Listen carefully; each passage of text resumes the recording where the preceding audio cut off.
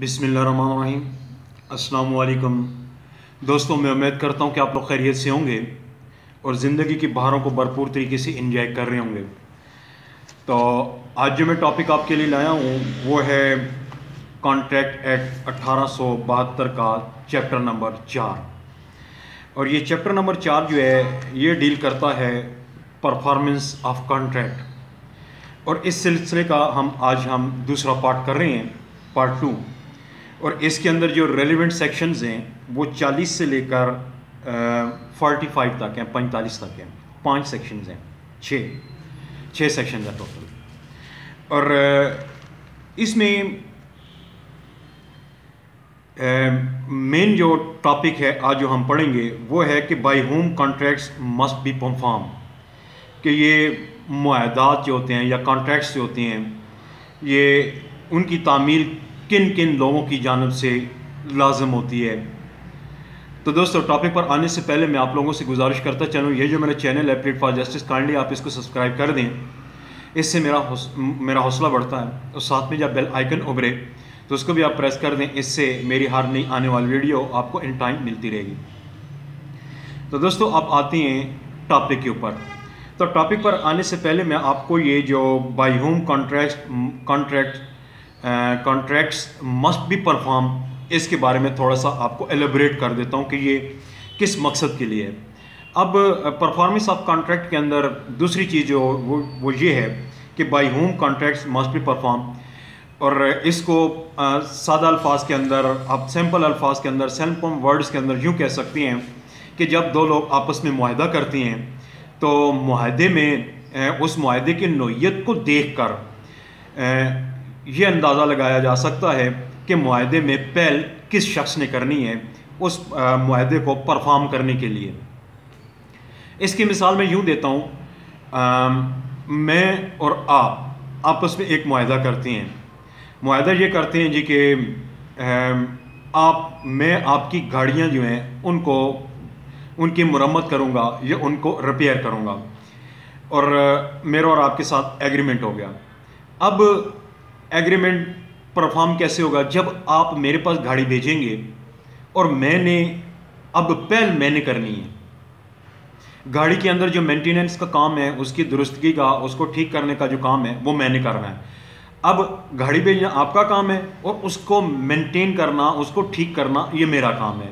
اب اس کے اندر پہل کرنا میرا کام ہے۔ اور اس طرح سے جو متعلق جتنے بھی معاہدے ہوتے ہیں، اور یہ اس طرح سے ریلیٹڈ جتنے بھی امور ہیں یا جو ایکٹس ہیں یا طریقہ کار ہیں یا مختلف جو معاہدے ہیں، ان کے بارے میں انہوں نے بتایا ہے اس پرفارمنس آف دی کانٹریکٹ کے اندر کہ معاہدے کے اندر پہل کس بندے نے کرنی ہے اور معاہدہ شروع کون کرے گا۔ جب دو لوگوں کے درمیان معاہدہ ہو گیا تو معاہدے کو شروع کس بندے نے کرنا ہے، آغاز کس نے کرنا ہے بسم اللہ کس نے کرنی ہے، تو یہ اس بارے میں انہوں نے اس کے اندر لکھا ہے۔ تو سب سے پہلے جو سیکشن ڈیل کرتی ہے، وہ ہے سیکشن چالیس۔ سیکشن فارٹی جو ہے، یہ کہتی ہے person by whom promise is to be perform اب اس کے اندر انہوں نے کہا کہ وعدہ کی جو تعمیل ہوتی ہے، وہ کس شخص پر لازم ہوتی ہے؟ کس بندے نے پہل کرنی ہے؟ تو اس میں انہوں نے کہا ہے کہ جب معاہدہ دو بندوں کے درمیان وہ ایگریمنٹ سیٹل ہو جاتا ہے کانٹریکٹ سائن ہو جاتا ہے، تو اس میں معاملہ جو ہوتا ہے یا ایگریمنٹ جو ہوتا ہے یا کانٹریکٹ جو ہوتا ہے، اس کی نوعیت کو دیکھ کر اس کی نوعیت کو دیکھ کر جو فری کے معاہدہ ہوتا ہے یا پارٹی آتی کانٹریکٹ ہوتی ہے جس نے پہل کرنی ہو یا جس کے اوپر وہ معاہدہ پہلے پہل کرنا لازم آتا ہو، وہ شخص اس کے اندر بسم اللہ کرتا ہے اور وہ اس کو پرفارم کرنے کا وہ انٹائٹل ہوتا ہے۔ اگر وہ بندہ موقع پہ دستیاب نہیں ہے، تو اس نے اگر اپنا اختیار کسی قائم مقام کو دیا ہوا ہے، تو اس کا قائم مقام وہ کرے گا۔ جیسے میں نے ابھی آپ کو کہا کہ آپ کے ساتھ میرا معاہدہ ہوا، آپ یہ ہوا کہ میں گاڑیاں ٹھیک کرنے والا مستری ہوں اور آپ کے ساتھ معاہدہ ہوا۔ آپ کسی فارم کے لوگ ہیں۔ تو جب آپ کی فرم کی گاڑی میرے پاس آئے گی، اگر میں موقع پہ موجود ہوں تو ٹھیک، نہیں تو میرا جو شاگرد ہوگا، جو دکان میری پہ یا میری ورک شاپ کے اندر کام کر رہا ہوگا، تو وہ گاڑی کو ٹھیک کر کرے گا۔ یعنی کہ اس میں پہل میں نے کرنی ہے، اگر میں موقع پہ موجود نہیں ہوں تو میرا وہ جو وہ جو قائم مقام ہوگا یا جو بندہ وہ وہ کیئر ٹیکر ہوگا، وہ جو بندہ ہے، وہ کام اس کرے گا۔ یعنی کہ اگر اول تو میں نے خود وہ وہ کرنا ہے کانٹریکٹ کو پرفارم کرنا ہے۔ اگر میں نہ ہوا تو میرا کوئی بندہ کرے گا۔ اب اس کے اندر یہ ہے، یا میں اس کے ایک اور مثال دیتا ہوں کہ دو لوگ ہیں، وہ آپس میں معاہدہ کرتے ہیں۔ تو اس میں تصویر بنانے کا کہ آپ نے یہ پینٹنگ بنانی ہے۔ تو ان دو لوگوں کا آپس میں معاہدہ ہو گیا۔ اب معاہدے میں پیسے بھی سیٹل ہو گئے، وہ شرائط معاہدہ بھی طے ہو گئی اب، اس میں جو پینٹر ہے، اب پہل اس نے کرنی ہے۔ اب پینٹر جو ہے، وہ اس کے اندر پھر وہ لازمی فریق ہے کہ پہل اس نے کرنی ہے اور وہ معاہدہ شروع کرے گا۔ اس میں جو بندہ پیسے دینے والا ہے، وہ دوسرا اس کا نمبر ہے۔ پہلے پینٹر نے جو ہے وہ معاہدہ وہ کرنا ہے، اپنا تصویر بنانی ہے اور اس کے بعد دوسرا بندہ جو ہے وہ پیمنٹ کرے گا۔ اب اس کے بعد آ جاتی ہے section forty one section forty one کہتی ہے کہ effect of accepting performance from third person اب یہ ہوتا ہے جی کہ بعض اوقات ایسے معاہدے ہوتے ہیں فریقین کے درمیان یا پارٹیز آف دی کانٹریکٹس کے درمیان کہ جو کسی تیسرے بندے نے ان کو پرفارم کرنا ہوتا ہے۔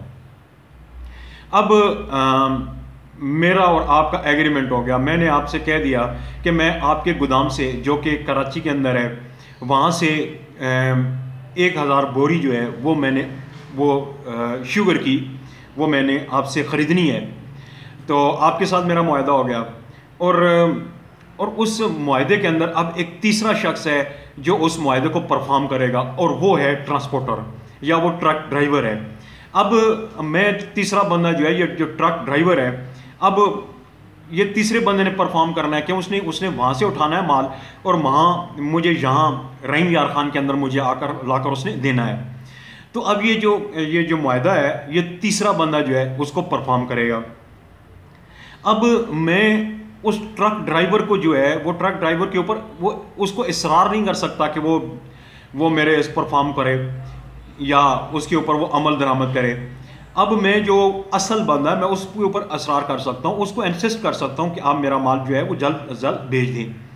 اور میں جو جو میرے، جس کے ساتھ میرا ایگریمنٹ سائن ہوا ہے، جس کے ساتھ میرا کانٹریکٹ سائن ہوا ہے، جس کے ساتھ میرے وہ term of T O R جو ہیں، وہ جس کے ساتھ سیٹل ہوئے ہیں وہ بندہ اس کا رسپانسبل ہے۔ تیسرے بندے جو ہے، وہ اس کے اندر وہ رسپانسبل نہیں ہے۔ یعنی کہ میں ٹرک ڈرائیور کو نہیں کہہ سکتا کہ وہ میرا مال جو ہے وہ لے کر آئے۔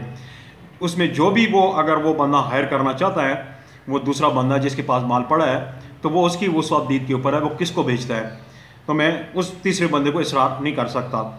تو جب تیسرے بندے نے اس کو پرفارم کرنا ہو، تو پھر تیسرا بندہ جو ہے، اس وہ میرے رسپانسبل نہیں ہے۔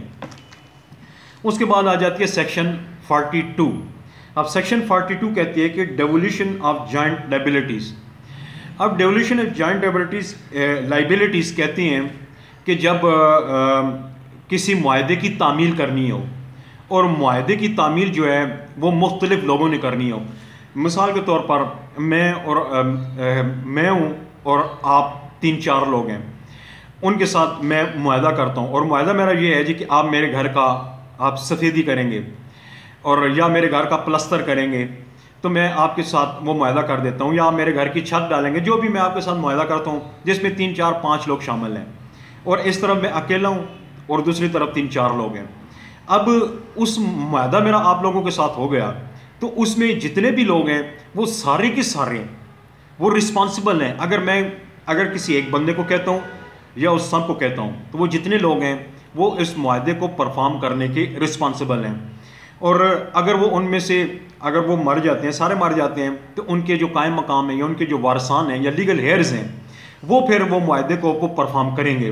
اگر کسی ایک کا وہ وہ مر جاتا ہے، اس کا جو لیگل ہیئر ہے، وہ کرے گا۔ تو اگر وہ سارے زندہ رہتے ہیں تو وہ سب کے اوپر رسپانسبلٹی آتی ہے کہ وہ سارے کے سارے اس میں معاہدے کو پرفارم کریں یا اس کو ایگزیکیوٹ کریں یا اس کی تعمیل کریں۔ تو یہ صفحہ، یہ جو دفعہ فارٹی ٹو ہے سیکشن فارٹی ٹو جو ہے، اس کے اندر یہ ہے کہ ڈیولیوشن آف جوائنٹ لائبلٹیز کہ جب اگر مثال کے طور پر دو، ایک یا ایک سے زیادہ لوگوں کے ساتھ اگر آپ کا معاہدہ ہوتا ہے، تو وہ سارے کے سارے جو ہیں، وہ رسپانسبل ہیں۔ اگر وہ سارے مر جاتے ہیں، تو ان کے وارثان، یا اگر ان میں سے کوئی ایک مر جاتا ہے، تو اس کے لیے غیر وہ معاہدہ پرفارم کرنے کے پابند ہوں گے۔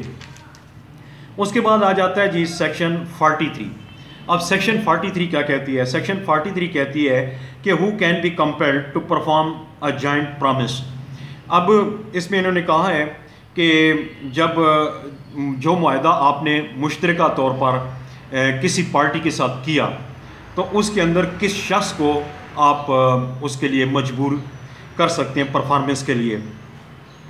تو اس میں مختلف، معاہدے کی جو نوعیت ہے، اس کو دیکھ کر پھر اس میں وہ نیکسٹ جو وہ طریقہ کار ہے، وہ اڈاپٹ کرنا پڑتا ہے کہ اس میں کس بندے کو ہم وہ وہ جو ہے انسسٹ کریں کہ اس معاہدے کو پرفارم کرنے کے لیے یا کس بندے کو ہم معاہدے کی تعمیل کے لیے مجبور کر سکتے ہیں۔ تو اس میں اس میں دیکھنا پڑتا ہے کہ کون بندہ ان میں رسپانسبل ہے۔ اگر مثال کے طور پر دو یا دو سے زیادہ لوگ ہیں تو ان میں انہوں نے اگر کسی اپنے ایک بندے کو ہیڈ بنایا ہوا ہے، تو پھر آپ اس جس کے ساتھ آپ ہیڈ کے ساتھ اگر آپ معاہدہ وہ کرتے ہیں، تو پھر آپ اس ہیڈ کو کریں گے۔ اگر دوسری طرف دو یا دو سے زیادہ لوگ ہیں یعنی کہ آپ کے وہ جو انہوں نے آپ نے رکھا ہوا ہے جن کے ساتھ معاہدہ کیا، ان میں سے آدھا کام ایک بندے نے کرنا ہے اور اسی نوعیت کا دوسرا کام جو ہے دوسرے بندے نے کرنا ہے، تو آپ پھر ہر دو کو وہ آپ کمپیل کر سکتی ہیں۔ کہ وہ آپ کے معاہدے کی پرفارمنس کریں۔ یا اس میں یہ ہے کہ اگر میں آپ کے ساتھ معاہدہ کرتا ہوں اور آپ سے کہتا ہوں کہ مجھے ایک ہزار بوری گندم چاہیے، اور آپ جو ہیں وہ اپنا ایک وہ چلا رہے ہیں، آپ ایجنٹ ہیں، کسی کمپنی کے ایجنٹ ہیں یا اس کے اونر ہیں، تو اور آپ کی جو فیکٹری ہے وہ تین، چار، پانچ لوگ اس کے اندر پارٹنر ہیں۔ اور وہ سارے لوگ جو ہیں، ان سب لوگوں کے ساتھ آپ کا معاہدہ ہوا۔ وہ سارے لوگ آپ کو ایک ہزار بوری گندم پوری کر کے دینے کے پابند ہیں۔ اور اور اس میں سارے لوگوں کو آپ معاہدے کے لیے کمپیل کر سکتے ہیں۔ تو جتنے بھی لوگ اس کے اندر آئے ہیں، اگر مثال کے طور پر ان میں سے ایک بندہ جو ہے، وہ انکار کر دیتا ہے یا وہ بندہ درمیان سے نکل جاتا ہے، تو باقی جو اس کے جو تین، چار پارٹنر ہیں پھر وہ اس کے اندر وہ رسپانسبل ہیں کہ آپ کے ساتھ جو معاہدہ ہوا ہے، معاہدے کے مطابق وہ جو آپ کے، وہ جو گندم ہے، اس کو پورا کریں۔ تو اس میں معاہدے کے اندر جتنے بھی، اگر آپ مشترکہ لوگوں کے ساتھ معاہدہ کرتے ہیں، مشترکہ طور پر چند لوگوں کے ساتھ معاہدہ کرتے ہیں، دو یا دو سے زیادہ لوگوں کے ساتھ معاہدہ کرتے ہیں، تو آپ ان سب میں، ان سب کو آپ کمپیل کر سکتے ہیں۔ اگر آپ نے، کچھ لوگ مشترکہ ہیں لیکن ان کا ایک ہیڈ ہے اس کے ساتھ معاہدہ کرتے ہیں پھر آپ اس کو صرف ہیڈ کو پکڑیں گے۔ اگر آپ تین لوگوں کے ساتھ معاہدہ کرتے ہیں، وہ جو جوائنٹ وینچر کے تحت وہ پارٹنر پارٹنر ہیں تینوں، ان میں سے کسی ایک کو یا تینوں کو آپ وہ کمپیل کر سکتے ہیں۔ تو، یا اگر دو لوگ ہیں، تو پھر وہ دو لوگ جو ہیں، وہ آپ کے پابند ہیں کہ آپ کا معاہدہ جو ہے، اس کے اوپر افا کریں۔ اور اس میں اور اس کے بعد آ جاتی ہے section forty four forty four کے اندر، چوالیس کے اندر یہ ہے کہ effect of release of one joint promisor اب اس میں یہ ہے کہ جب مشترکہ معاہدہ ہوتا ہے، جب آپ نے کسی ایسی پارٹی کے ساتھ معاہدہ کیا جو لوگ پارٹنر ہیں، ان کے ساتھ آپ نے معاہدہ کیا اور ان لوگوں نے اکٹھے ہو کر آپ ایک کے ساتھ معاہدہ کیا۔ وہ چار لوگ ہیں، آپ ایک طرف اکیلے ہیں۔ آپ نے ان چار لوگوں کے ساتھ کسی کام کے کرنے یا نہ کرنے کا معاہدہ کیا؟ آپ کا معاہدہ جیسا بھی ہے، جو بھی ہے، آپ نے معاہدہ ان کے ساتھ کر دیا۔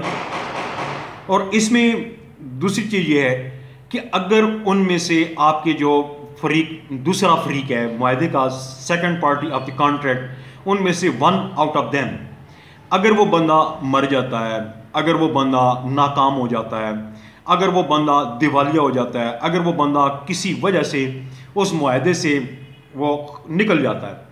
تو باقی کے جتنے بھی اس کے جو پارٹنر ہیں، اگر چار لوگ ہیں، چار میں سے ایک اگر وہ نکل گیا، اس کو برات مل گئی یا اس کو آپ نے فارغ کر دیا، یا وہ خود ہی فارغ ہو گیا، نکل گیا، تو باقی جو تین لوگ ہیں، وہ آپ کے، وہ جو وہ جو آپ کے ساتھ جو ٹرم اینڈ کنڈیشن انہوں نے معاہدے کی طے کی ہیں اس کے مطابق اس کو پورا کریں گے۔ اگر آپ نے ان سے معاہدہ کیا جی کہ آپ مجھے پچاس بوری چینی کے دیں گے، تو پھر وہ اگر چار لوگوں کے ساتھ معاہدہ کیا، تو چار میں سے ایک نکل گیا، تو باقی تین جو ہیں، وہ آپ کی پچاس بوری گندم اپنے وہ چینی کی پوری کر کے آپ کو دیں گے۔ تو اس میں یہ کہا گیا ہے، اس سیکشن کے اندر چوالیس کے اندر کہ اگر ایک بندہ درمیان سے معاہدے کا نکل گیا تو باقی کے تین جو ہیں، اگر چار لوگوں کے ساتھ آپ نے معاہدہ کیا، ایک ان میں سے نکل گیا، تو باقی کے تین بری ذمہ نہیں ہو جاتے۔ یہ نہیں ہے جی کہ ایک بھاگ گیا تو باقی تین۔ نہیں، وہ تینوں جو ہیں، وہ پھر اس چوتھے کا جو، اس کے حصے کا جو کام ہوگا، یہ تینوں مل کر کریں گے۔ اور اس کے بعد آ جاتا ہے جی سیکشن فورٹی فائیو۔ اب سیکشن فورٹی فائیو کہتی ہے کہ مشترکہ ڈیولیوشن آف جوائنٹ رائٹس۔ اب مشترکہ معاہدے کی تعمیل کرانے کا حق۔ اب اس کے اندر یہ ہے کہ جب آپ نے کوئی ایسا معاہدہ طے کیا کہ جو جوائنٹ ہے، مشترکہ ہے یعنی جب ایک شخص نے دو یا دو سے زیادہ لوگوں کے ساتھ، اشخاص کے ساتھ مشترکہ طور پر کوئی ایگریمنٹ سائن کیا، تو اور اگر تو بجز اس کے کہ و معاہدہ، نیت جو ہے، اس کے خلاف پائی جائے۔ تو استقاط جو تعمیر کرنے کا جو رائٹ ہے مابین جو فریق اول اور فریق دوم جو مشترکہ طور پر، اگر وہ ان میں جتنے بھی زندہ لوگ ہیں، ان سب سے مشترکہ طور پر حاصل ہو سکتا ہے۔ یعنی کہ اب رائٹ جو ہے، وہ سارے ہیں۔ ان سب نے آپ کو وہ آپ کی جو لائبلٹیز ہے یا آپ کا جو رائٹ ہے وہ پورا کرنے کے ان کو حق بنتا ہے کہ وہ آپ کو وہ جو آپ کا رائٹ ہے وہ پورا کر کے دیں۔ اگر ان میں سے کوئی فوت ہو جاتا ہے جہاں مشترکہ آپ نے معاہدہ کیا، آپ اکیلے نے دو یا دو سے زیادہ لوگوں کے ساتھ کوئی معاہدہ کیا اور آپ نے ان کو پیمنٹ بھی کر دی، آپ نے ان سے مال بھی اٹھایا، آپ نے پیمنٹ بھی کر دی، مال بھی اٹھایا آپ کا جو وہ جو کانٹریکٹ ہے وہ جاری ہے، درمیان سے ایک بندہ مر گیا۔ ان دو لوگوں کا، آپ کے جو دوسرے پارٹی ہے، جن کے ساتھ آپ نے معاہدہ کیا۔ تو آپ کے جو رائٹس اینڈ ڈائبلٹیز ہیں، ٹھیک ہے، تو ان کو پورا کرنا، دوسرے جو جو مشترکہ جن لوگوں کے ساتھ آپ نے معاہدہ کیا، وہ دو لوگ، یا اگر ان میں سے کوئی ایک یا دونوں اگر فوت ہو جاتے ہیں، تو ان کے لیگل جو وہ رساں ہیں، ان کے لیگل ہیئرز جو ہیں وہ آپ کی جو لائبلٹیز ہیں یا جو آپ کے رائٹس ہیں، ان کو فلفل کرنے کے رسپانسبل ہیں. اس سیکشن فورٹی فائیو کے تحت انہوں نے یہ بات کی ہے کہ جہاں مشترکہ معاہدہ ہو اور مشترکہ معاہدے کے اندر آپ نے مشترکہ معاہدہ، ایک بندے نے آپ اکیلے نے تین چار لوگوں کے ساتھ مشترکہ معاہدہ کیا، ان میں سے کوئی ایک بندہ مر گیا تو اس کا جو دوسرا کمپنی ہے، اس کا جو پارٹنر ہے وہ پورا کرے گا یا وہ اگر پورا نہیں کرتا، اس کی رسپانسبلٹی نہیں اٹھاتا، تو پھر اس کا لیگل ہیئر جو ہے، پھر وہ آپ کے جو رائٹ اینڈ لائبلٹیز ہے، ان کو پورا کرنے کا وہ وہ بندہ رسپانسبل ہے۔ تو آپ کا استقاق ہے کہ اس سے آپ معاہدے کی انفورسمنٹ یا ایگزیکیوشن تھرو اگر کورٹ بھی کرنا چاہیں، تو آپ کر سکتے ہیں۔ تو دوستوں میں سمجھتا ہوں میرا آج کا ٹاپک آپ کو کلیئر ہو گیا ہوگا اور آپ کو سمجھ بھی آگے ہوگی۔ اور اگر آپ کا کوئی کویشچن ہے، کوئی کوئری ہے، کوئی سوال ہے، تو آپ اس بابت اگر کمنٹ کرنا چاہتے ہیں، تو یو آر موسٹ ویلکم آپ مجھے کمنٹس کر سکتے ہیں اور مجھے میری نئی ویڈیو کے آنے تک میں آپ لوگوں سے اجازت چاہوں گا اور اس وقت تک مجھے اجازت دیں۔ اللہ حافظ وش یو گڈ لک